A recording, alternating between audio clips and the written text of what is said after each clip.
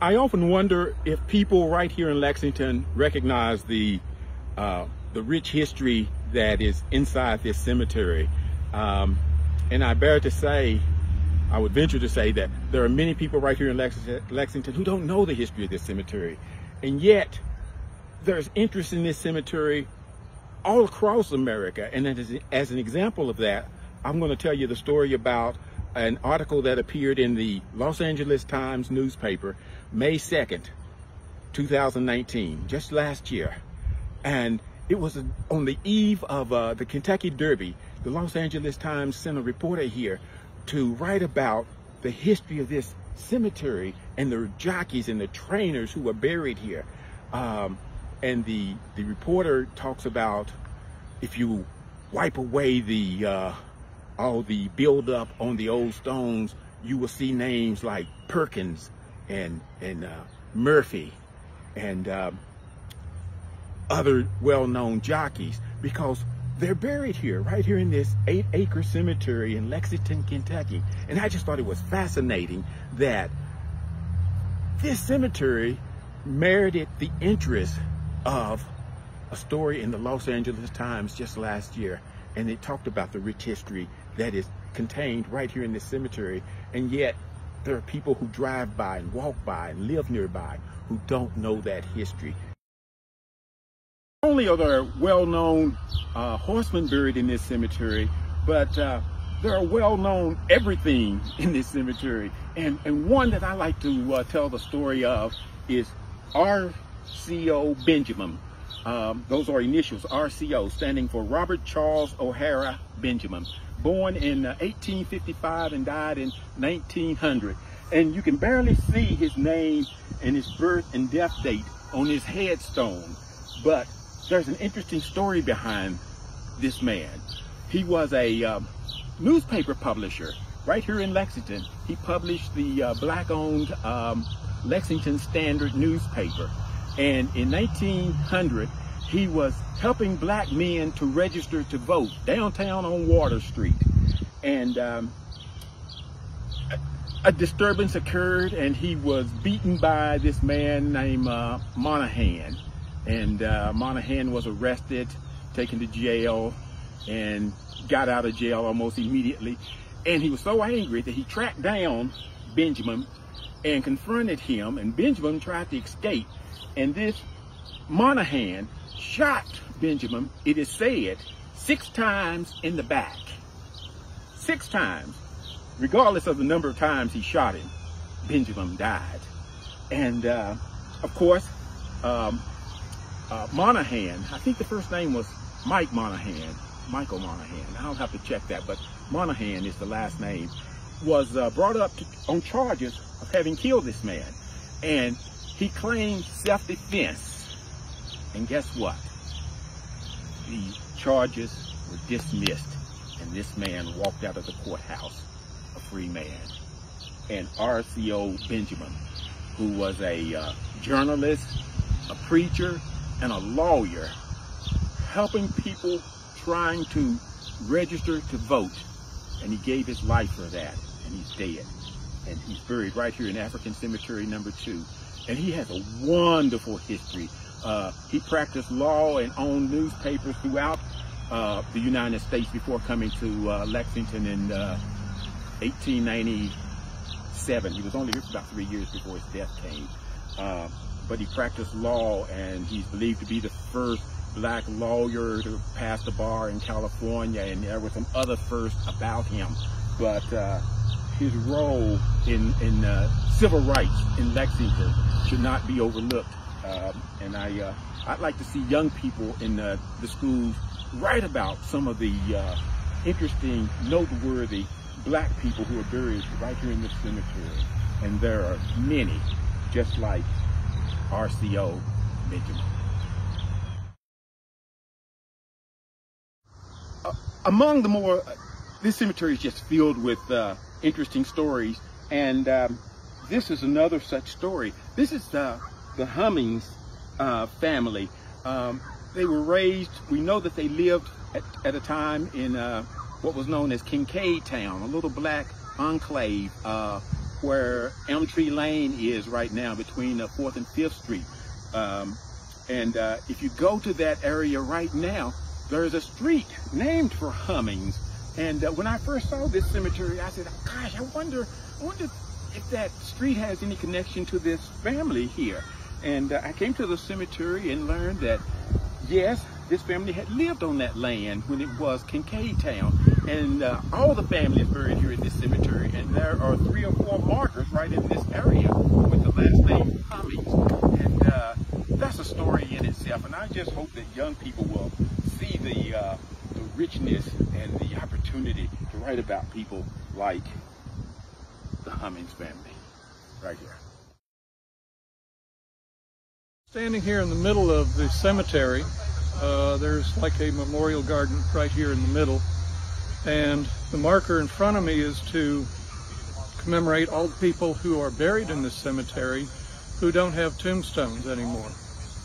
Uh, there are approximately 1,200 some tombstones here at the cemetery in all six sections. And uh, we know from prior research uh, mainly by Dr. Ann Butler at Kentucky State University, who formerly was a board member here, that there are approximately 8,000 people buried here.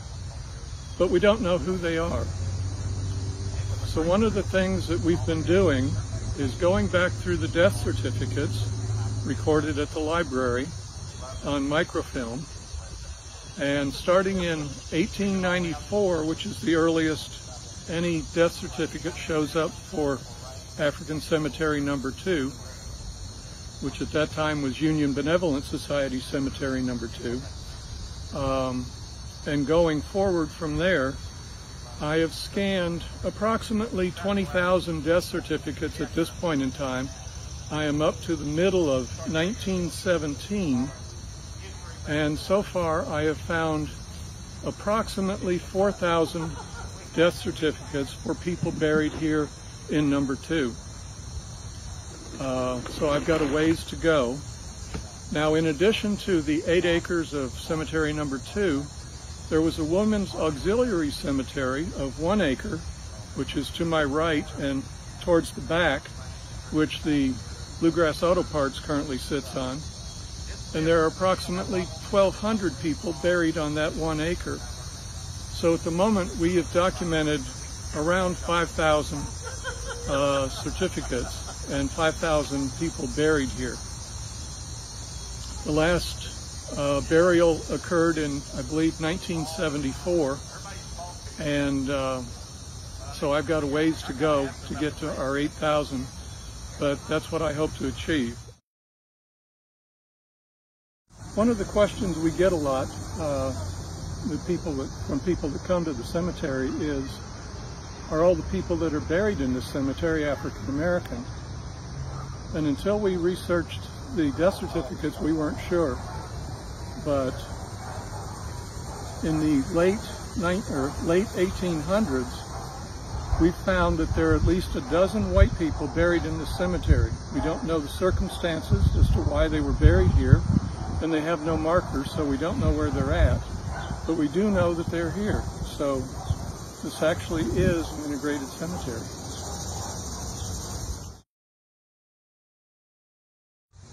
Welcome to African Cemetery number two.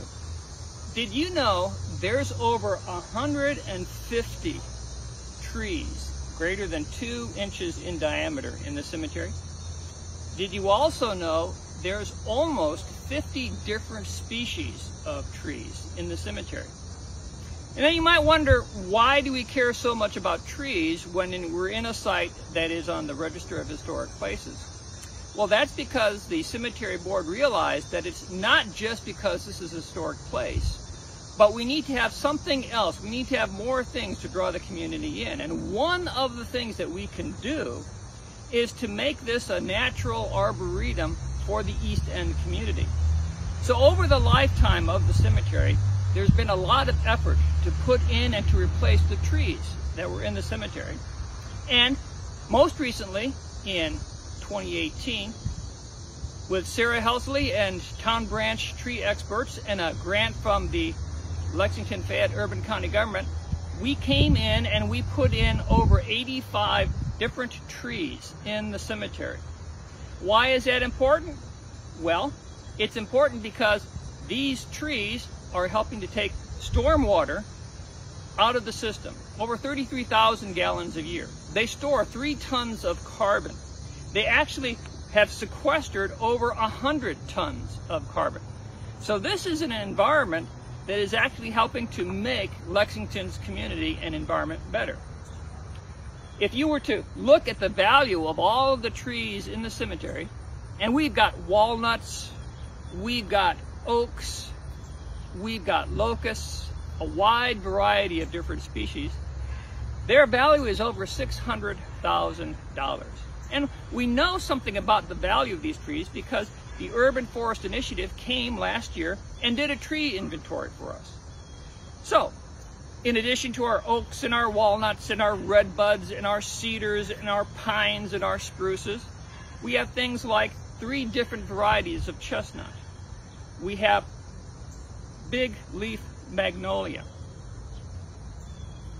And in this time, if you're stuck at home, you need your kids to do something, well, bring them to African Cemetery number two and do a little bit of tree inventory and a little bit of tree examination. We'd love to have you come and see what we've got to offer.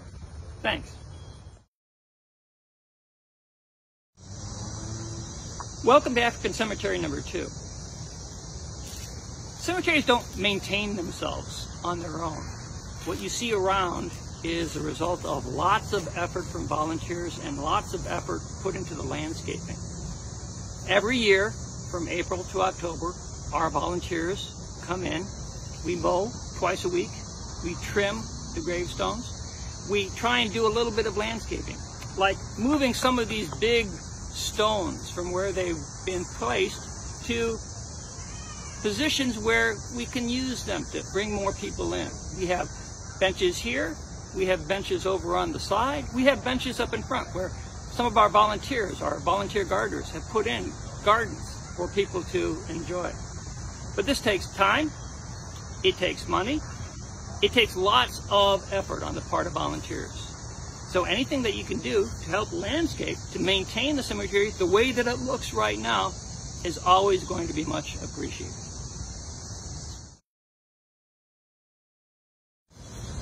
This is a headstone marker for the family of James Andrew Scott. He was the first African American to be hired by the United States Postal Service and he worked there his entire life. He was also a member of the Colored Fair and served as president twice during its early tenure. Uh, Fanny was his wife. She was part of the uh, Colored Orphan Home at one time you can tell she died in 1908. Their house, sitting on South Mill Street, is included in one of the Bluegrass Trust uh, tour guides for the South Hill District. And uh, it clearly talks about her having purchased the property and then selling it, uh, part of it to her uh, son-in-law, Robert Gray. Dale Gray, her sister, is right next to their marker, the small marker next to it. This particular marker has recently been re remounted. You can see with our pink flags. It has taken us, oh, 10, 15 years because we've had such huge amounts of vandalism over the years.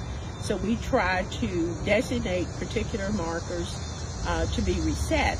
These are not ones we can just set up. We have to have someone with equipment and experience. So this year, we markers in this area with pink flags. We've got some others that we will work on later. This particular brochure was produced by the Bluegrass Trust. It's the Mulberry Hill Historic District.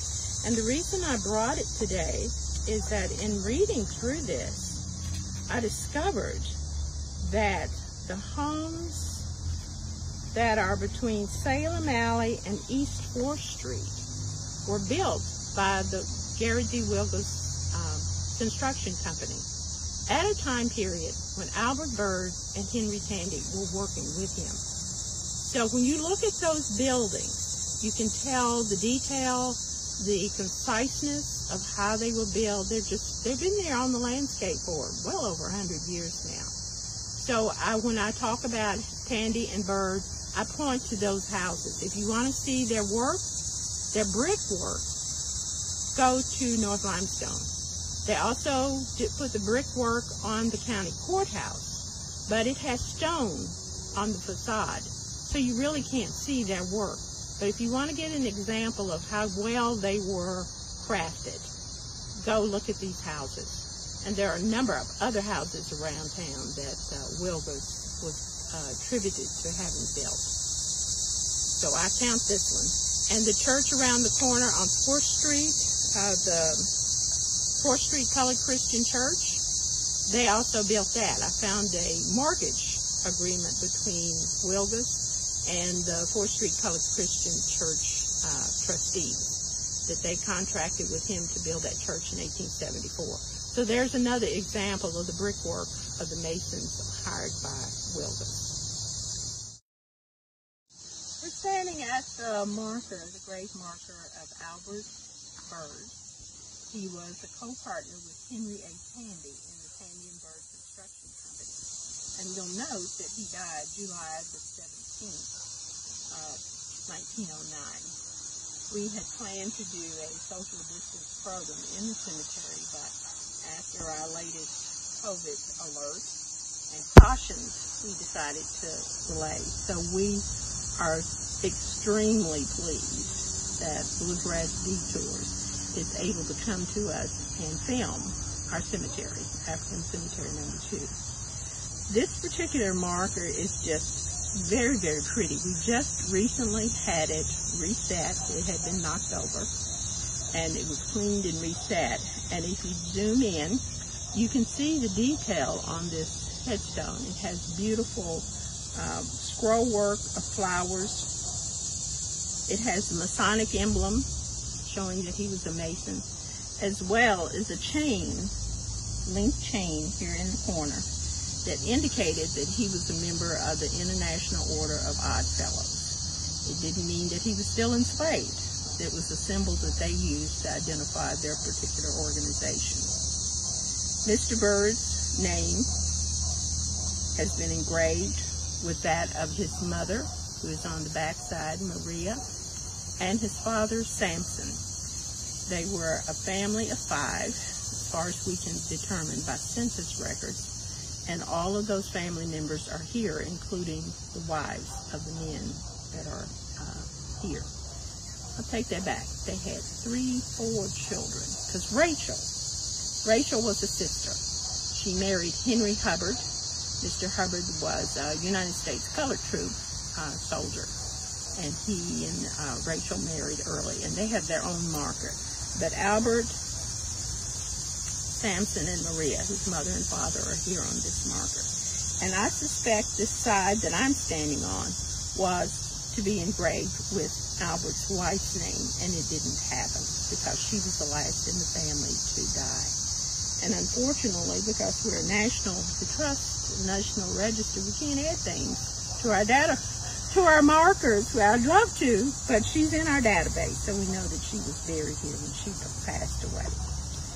At the next marker, I move just around.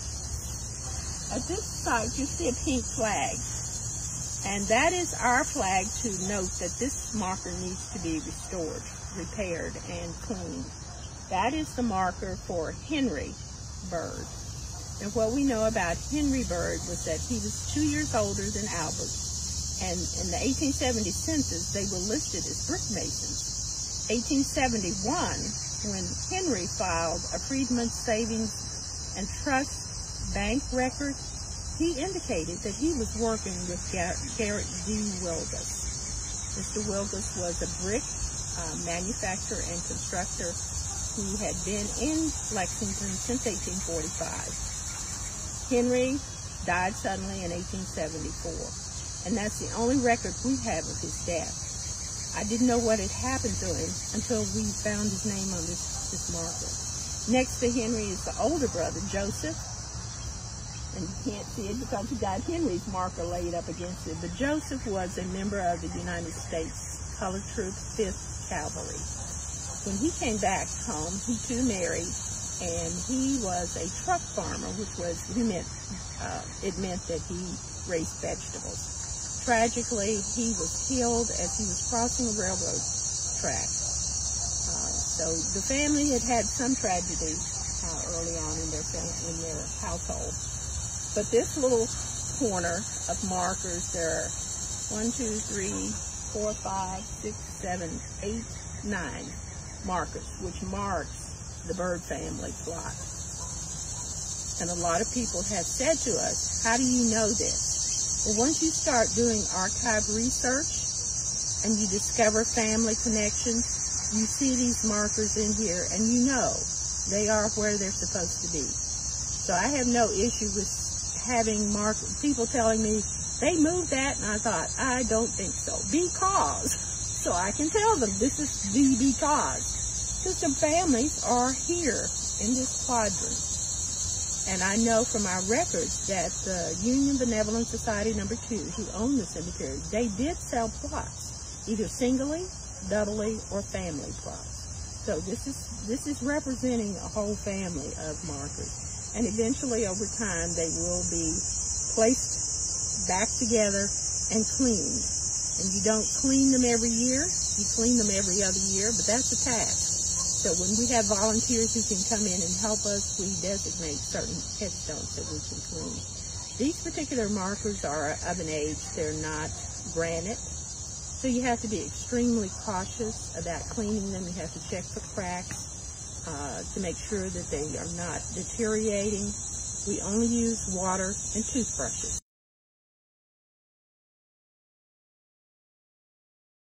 This particular marker has no identifying information on it, but we know from our archive research that it was probably erected in 1909 by men who knew the individual who was buried here.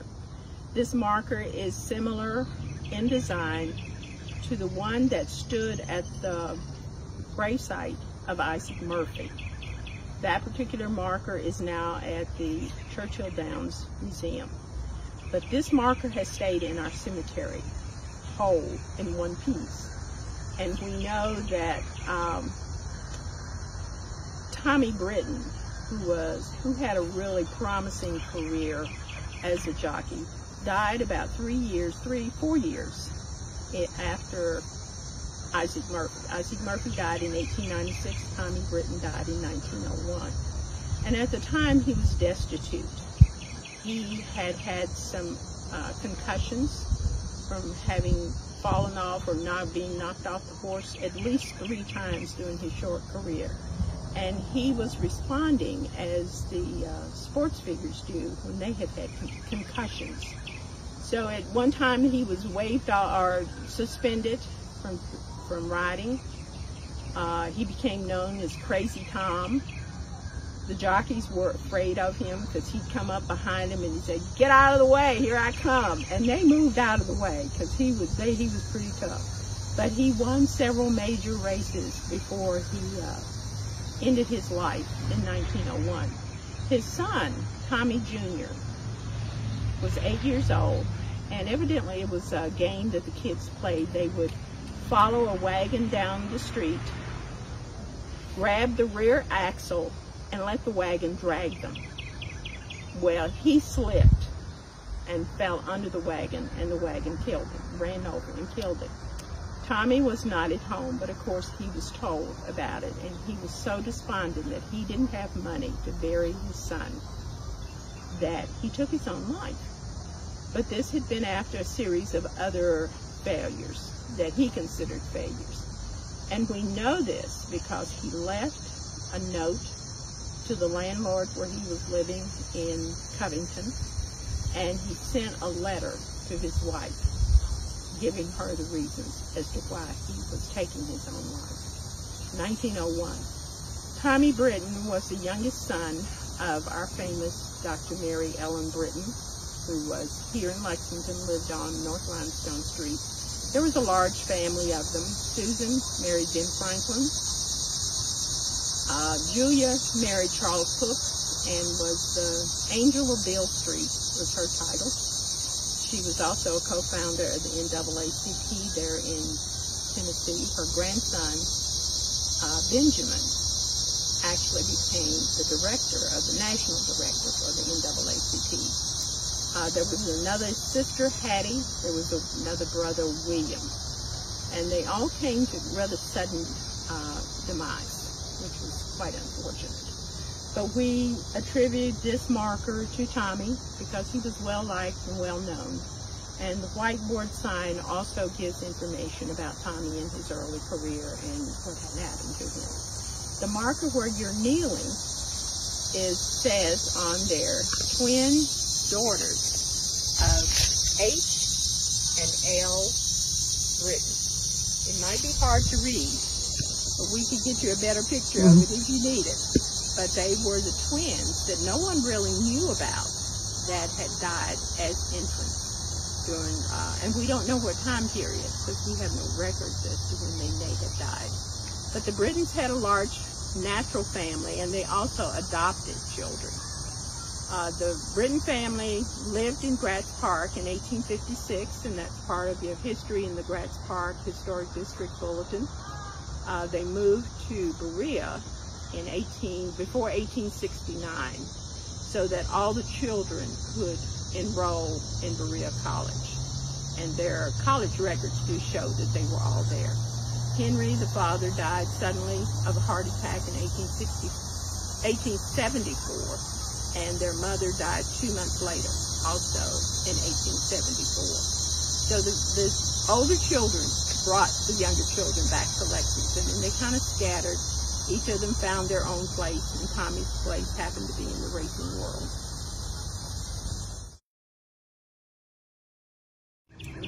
This is a new archive panel that we just installed in June that lists the 159 men that we have documented as being involved in the horse industry.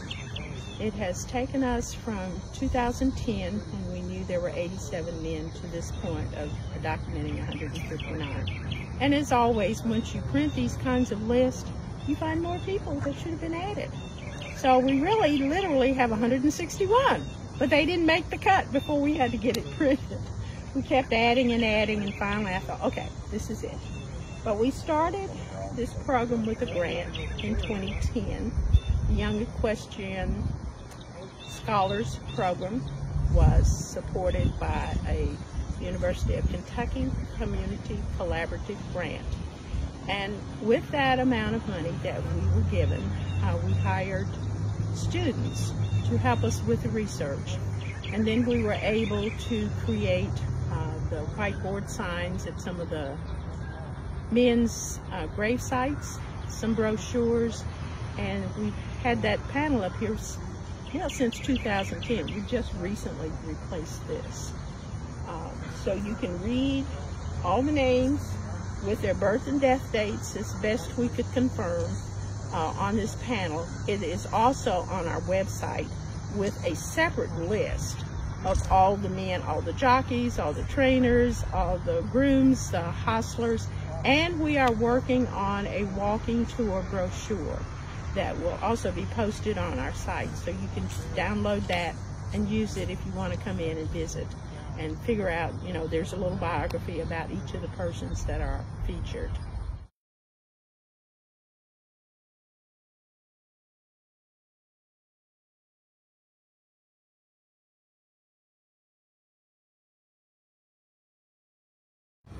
This is a very unique military marker for our cemetery and locale.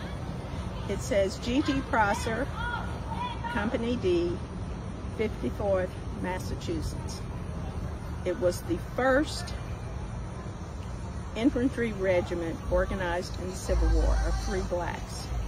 And their whole roster is online now, so you can go through there and look to see all the men who actually uh, joined. Mr. Prosser was a native of Pennsylvania, and he made his way to Massachusetts to join. He served at the Battle of Fort Wagner, and most people are familiar with the the story behind Fort Wagner because of the movie Glory.